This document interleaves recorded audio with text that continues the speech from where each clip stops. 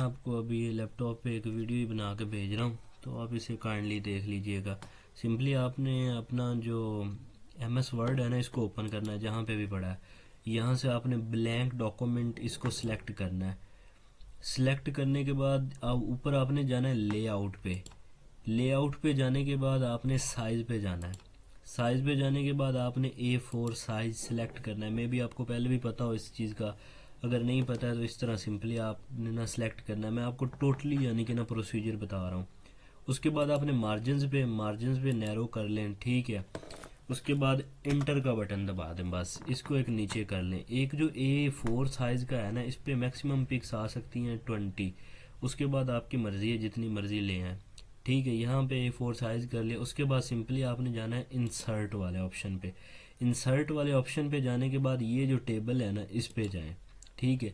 अब मैक्सिमम एक पेज पे बीस आ सकती हैं, ठीक है। तो आपने चार इस तरह रो वाइज और पाँच नीचे कॉलम वाइज इस तरह इधर टेबल से सिलेक्ट करना है।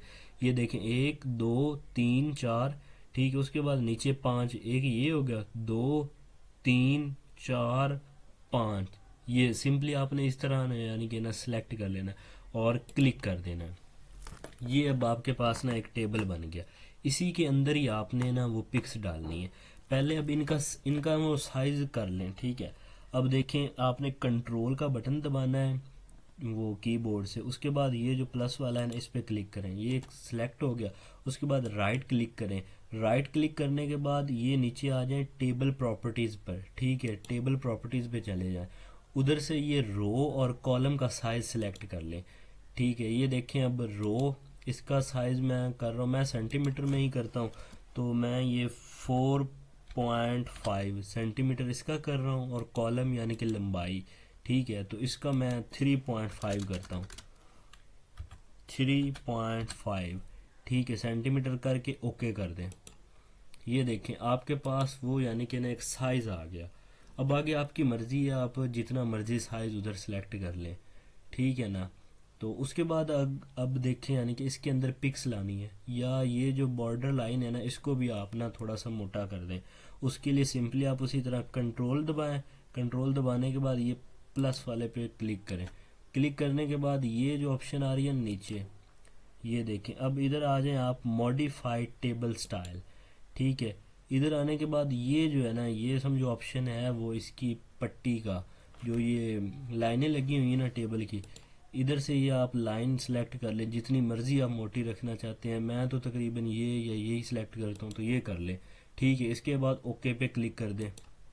ये देखें, आपका यानी कि ना, वो विड से ज़्यादा होगी, ज़्यादा चौड़ी होगी लाइन ठीक हो गया। अब सिंपली आप इस एक पहली पे क्लिक करें। पहली पे क्लिक करने के बाद आप सिंपली इंसर्ट पे चले जाएँ।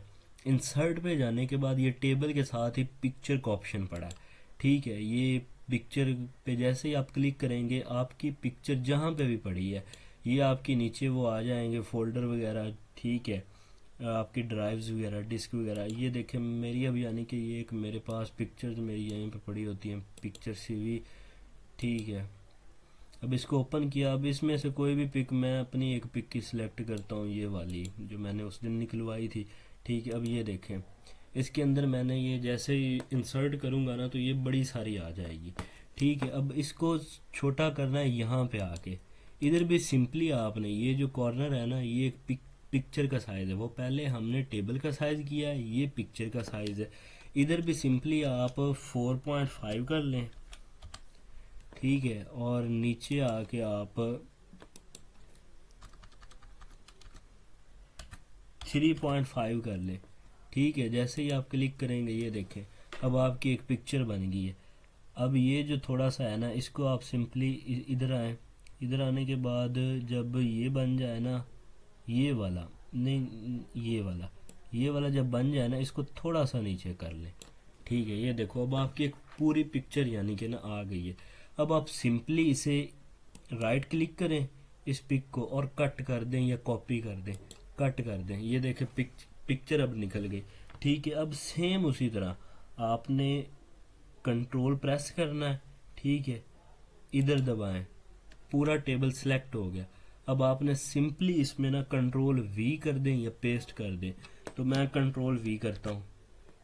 ये देखें टोटली पूरे टेबल में वो पिक्स आ गई हैं। ठीक है, यानी कि ये देख।